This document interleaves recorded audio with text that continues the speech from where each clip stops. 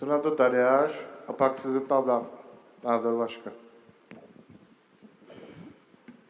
Tak na tady to jsem odpovídal už milionkrát, stejně jako Vašek.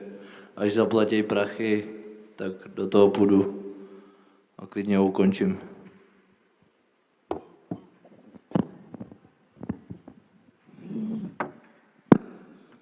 Tak samozřejmě já chci taky prachy. Nemí...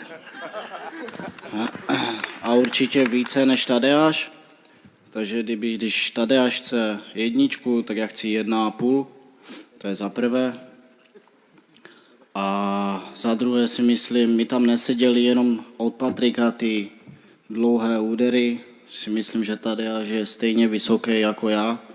Takže si myslím, že by to probíhalo trošku jinak. Tadeáš by mi trošku jinak seděl.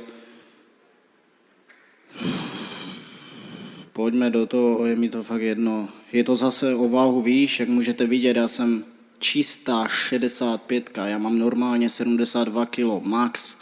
Tady až má, já nevím, 80, 81, takže tady můžete vidět váhu. 75, ale neříkám nic, ty máš svoji váhu, já mám svoji, jde o to jenom, že furt nás lidi do toho pušujou. Ty jsi řekl, že chceš 70 a proto do toho zatahuješ mě. Já jsem, to je proč na to odpovídám takhle. A proto za to chci zaplaceno. Nám to může akorát jenom vzít, než dát. Tak ať dej prachy.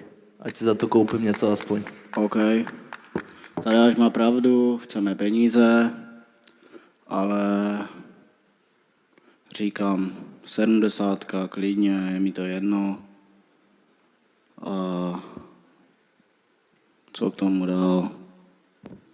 Těším se. Takže tak. Já jsem začal být trošku nervózny pri tých cifrách tu, ale